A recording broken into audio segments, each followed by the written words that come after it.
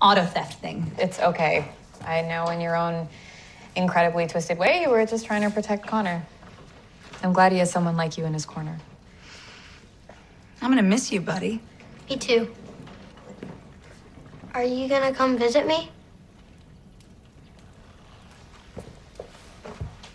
All the time.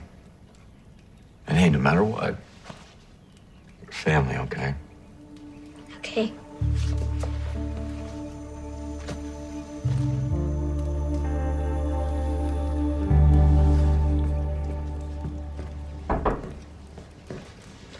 Fallon? I just wanted to thank you. It meant a lot to me that you were willing to violate your new do gooder vow to help me destroy an innocent woman's credibility and steal her kid.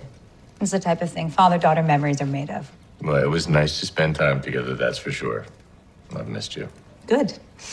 Because Liam and I are moving back into the manor. This is my home. And also, La Mirage has a terrible breakfast buffet. And compared to Laura, your parent of the year. I'll take it. Welcome back. Thanks. Oh. So, what were the skeletons in Alexis's closet?